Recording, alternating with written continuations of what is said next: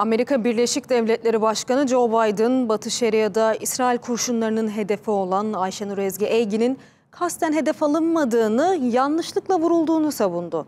İsrail bu tarz kazaların yaşanmaması için daha fazlasını yapmalı demekle yetindi.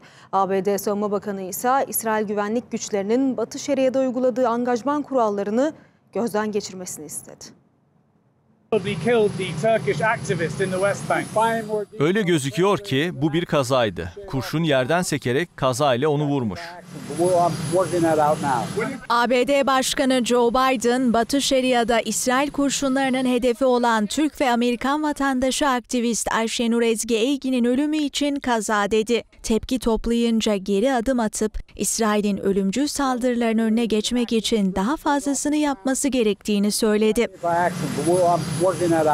Biden bir kez daha en yakın müttefiki İsrail ile aynı dili kullandı. İsrail ordusunun yaptığı açıklamaya benzer şekilde Eygin'in kasten hedef alınmadığını savundu.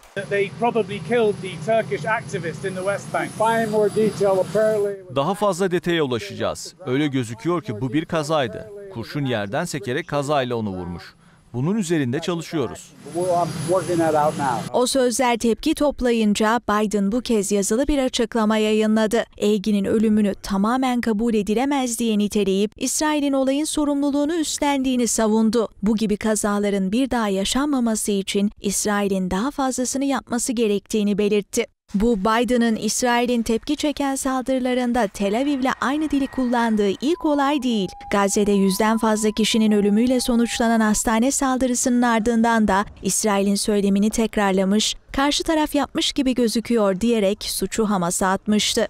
Diğer yandan ABD Savunma Bakanı Lloyd Austin de İsrailli mevkidaşı Yoav Galant'la telefonda görüştü. İsrail güçlerinin Batı Şeria'da angajman kurallarını yeniden gözden geçirmesi gerektiğini vurguladı. Eygin'in acılı ailesi tepkili. Ne Beyaz Saray'dan ne de Biden'dan başsağlığı telefonu aldıklarını söylediler. Amerika Birleşik Devletleri'nin Eygin'in ölümüne dair İsrail'den bağımsız bir soruşturma başlatmaması da eleştiriye neden oluyor. İsrail adaletine güvenilemeyeceği belirtiliyor. Eygi Batı Şeria'nın Beyta kasabasında son 4 yılda öldürülen 18. aktivist oldu. Kendisi gibi Amerikalı bir aktivist olan Rachel Corey ise 2003'te Gazze'de Filistinlilerin evlerinin yıkılmasına karşı çıkarken İsrail askerleri tarafından buldozerle ezilerek öldürüldü. 2022'de ise Filistinli gazeteci Şirin Ebu Akile görevi başındayken Batı Şeria'da kurşunların hedefi oldu. Akile tıpkı Eygi gibi başından vurulmuştu. İsrail güçleri ise Akile'nin yanlışlıkla öldürüldüğünü savunmuştu.